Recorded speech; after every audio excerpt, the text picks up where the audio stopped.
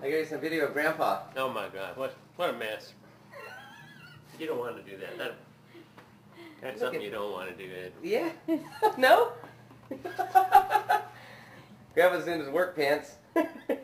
No, see, these are my pomegranate pants. is that what those are? This is pomegranate, and then you know, like with a hole, Let shirts with a hole. Let me see here. This is for pomegranate gathering? This is pomegranate work right Wait a minute, what's on the hand? What's that? Oh, I burnt myself. Oh, I got a big burn in here. you do? Yeah, so What is that? What's that right here? This back, this This part of it, it burnt all the way up here. Yeah, how'd you do that? Out there in that thing I was cooking and, and I was seasoning the grill.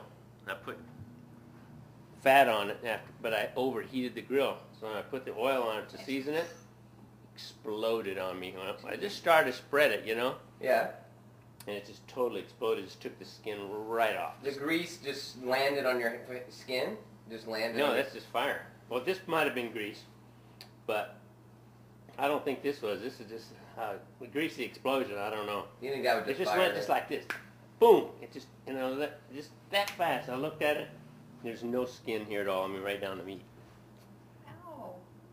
Yeah, yeah, I'll, I'll show it to you. I gotta change this. Did you go to the doctor? What do you mean, nah?